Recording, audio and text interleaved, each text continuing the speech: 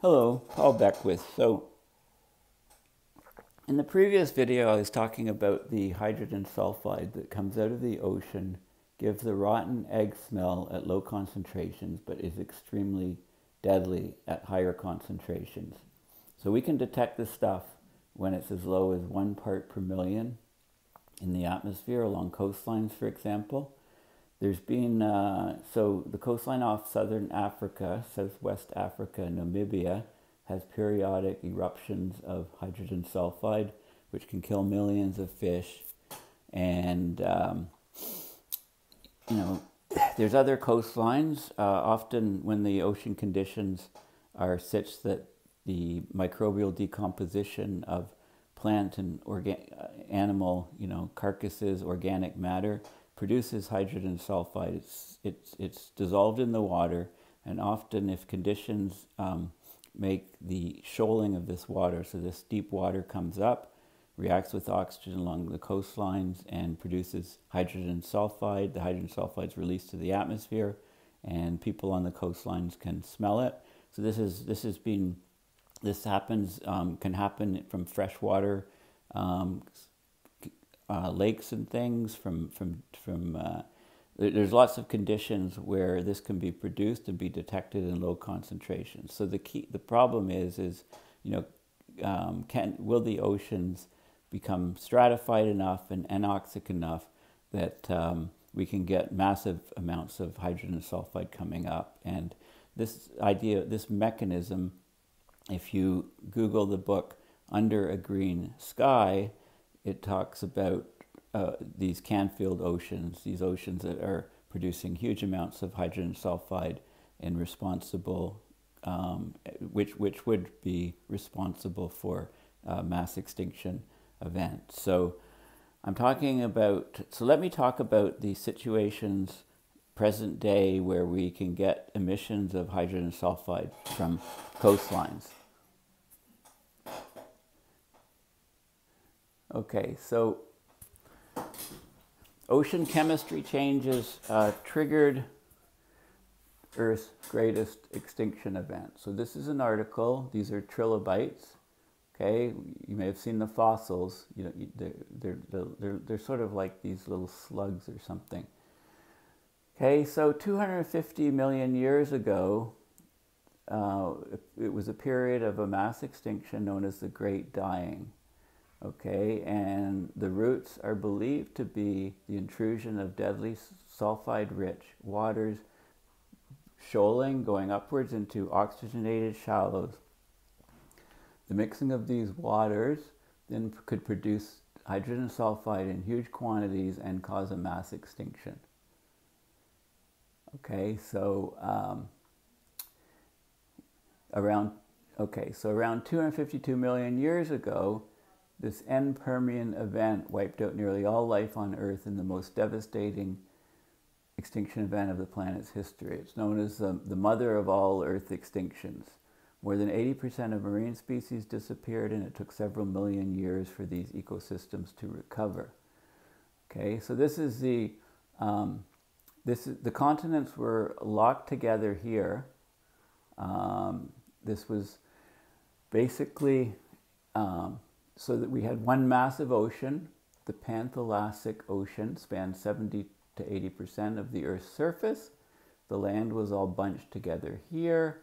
Um, this is an area present day called Opal Creek. This is an area in China. Um, present day it's in China. And this is where these locations were located 252 million years ago. So by looking at looking at fool's gold and you know which is uh, there's there's sulfur in the rocks looking at the isotopes of sulfur present day you know in these regions we can get information about these regions in the, when they were in this configuration 252 million years ago. So a deep ocean situation and a coastal situation.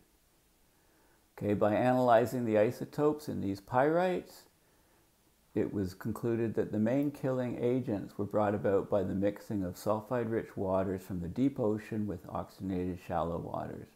Exactly what caused this increased mixing is still a mystery. Of course, the sulfide is toxic to um, cells with nuclei. Hydrogen sulfide in the concentrations of a few hundred ppm is lethal to humans if exposed for a prolonged time. So this shoaling would kill marine animals in these oceans and then that spread to the land. Okay, so this is the idea. Okay, so this has important lessons uh, for the present day ocean. Okay, so let's talk, look at this region. Here's a fascinating region in the Gulf of Mexico. Okay, the Jacuzzi of Despair is a deadly lake within the Gulf of Mexico. So when you think of a jacuzzi, you think of warm, bubbling, soothing relaxation, a luxury. But now tweak the scene, and these, if these steamy bubbles were full of methane and that he- cl- hot, clear water, a thick, briny stew of uh, you know, hydrogen sulfide and methane, you'd have a jacuzzi of despair. So basically, there's an underwater brine pool in the Gulf of Mexico. It's a toxic pocket of seawater that will certainly kill anything that swims into it. Okay, so basically, it's a it's very it's about a day's boat ride from the coast of New Orleans. Okay, it's a hundred. It's a region on the seafloor. It's hundred feet, thirty meters in circumference, reaches about twelve feet deep, and it's nearly three thousand three hundred feet or thousand meters below the surface. Okay, so here's the image here. Okay, um, it's about five times saltier than the surrounding seawater. It's very, very dense water, very heavy water as a, as a result. Okay, so how much salt is in there? Instead of 3.5%, it's about 17, 18% salt. Okay, so it's very, very dense. It just sits at the bottom, and there's a toxic cauldron of chemicals, including methane gas and hydrogen sulfide, that are dissolved in this water. Okay, so anything that swims into this water um, just uh, dies almost immediately. So, why is it there? Okay, so here's an image here. You know, this is looking down. So this is the very salty water, the, the, the toxic jacuzzi of despair. Okay, so here's the idea or the thought about why this is here. Millions of years ago, Gulf of Mexico was much shallower than today. As that shallow water evaporated, it left massive layers of salt behind which slowly were slowly buried under layers of sediment. Okay, as these layers shifted and cracked, the salt got into the ocean water, escaped, created this super concentrated brine bath. Doesn't mix with the water, and um, so it's not the only brine that's deadly. In freezing regions, brine icicles known as brinicles, they freeze very, very quickly. They trap aquatic life and are deadly for, for life. Okay, so we have this region on the seafloor in the Gulf of Mexico that's saturated with hydrogen sulfide, methane, is extremely salty and just sits there and doesn't mix with the rest of the ocean. Okay, uh, this is another region of interest, Mexico's Yucatan Peninsula. Okay, there's these sinkholes called cenotes. Limestones collapse to expose the groundwater below. And uh, here's, here's one. And as you go down, you suddenly go down about 30 meters and you see this cloudy region, almost no visibility. Okay, so what is this? It's a toxic, a giant underwater river shrouded in a cloud of toxic gas. So this is a sinkhole at the surface. And there's a good video of divers going down to this region. And here's basically what we have. So here's the sinkhole. This is fresh water here, down to about 30 meters or 100 feet depth. Beneath you have salt water, very, very salty water, and you've got methane and uh, hydrogen sulfide dissolved in the water, making it milky white. So this is the this is some vegetation here poking up, and this is what we see here. And you go down here, like it looks like it's uh, from another world. It's, it's incredible. Okay, so this is a region, of course, no life can survive underneath here, No, no, no, no and, and they also show the, the hot tub or jacuzzi of despair in this article.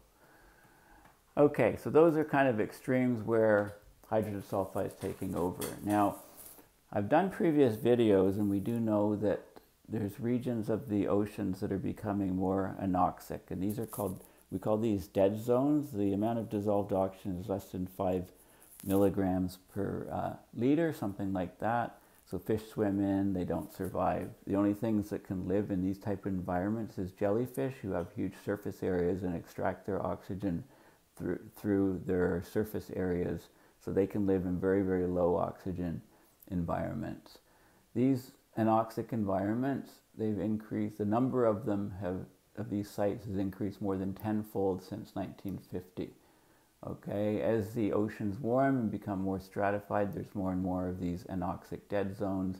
And these dead zones are um, eventually the, the bacterial decomposition in these dead zones, of course, is going to be anaerobic, no oxygen. And these are conditions where you can get the hydrogen sulfide produced as well as the methane. Okay, um, so coastal, if you're near a coastline and you have this, you can smell this rotten egg smell, what it means for your health, what's causing it. So,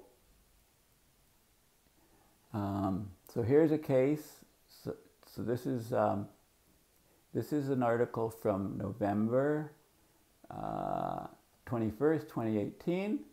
More than 400 complaints about a rotten egg smell poured into the air quality management from September 28th to October 1st, California, stretch of coast from Newport Beach to Redondo Beach. So this odor has, this mysterious odor has intermittently plagued the coast for years.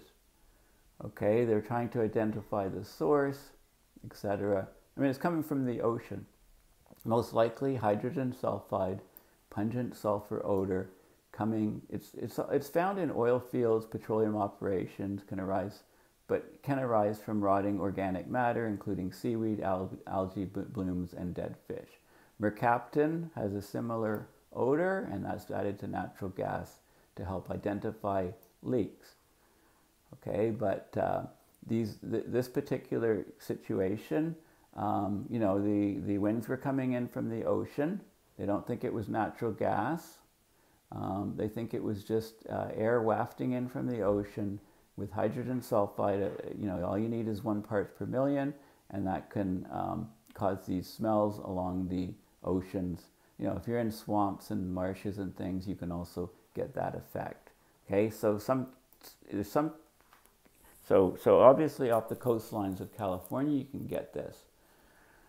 Um, I talked about the Gulf of Mexico Okay, same sort of thing. And also the west coast of India has these this seasonal anoxia where there's fish kills and things, and you get the methane and the hydrogen sulfide wafting ashore, um, and people um, smelling it. Now, Robert Scribbler did an article called Shades of a Canfield Ocean, Hydrogen Sulfide in Oregon's Purple Waves. So there was a situation where and this article was from 2015, a very good article, by the way, from, from uh, the Scribbler. Um, people were seeing these purple uh, waves coming ashore. So when the water gets laced with hydrogen sulfide, you know, it can take on this characteristic color. Okay, so there was, th this is an artist's rendering of what a Canfield ocean may have looked like. So if the whole ocean, you know, under a purple sky, you know, uh, when you have a dead ocean like this, you, you get this purple color. Okay, um, and there's jellyfish that can survive and so on. So, and this is a paper, I'm not going to go into the details of this, but they looked at the um, isotopes, um, you know, at those two locations here. Um, it's not loading properly. Okay, here we go. They looked at these locations, they looked at the isotopes, they tried to determine, uh, they, they, they, they came to the conclusion that a lot of the cause, one of the main causes of this mass extinction back 252 million years ago was sulfides. Okay, so I'm not going to go into the details of it, but it's an excellent paper. So thanks for listening. Hydrogen sulfide we have to keep an eye on.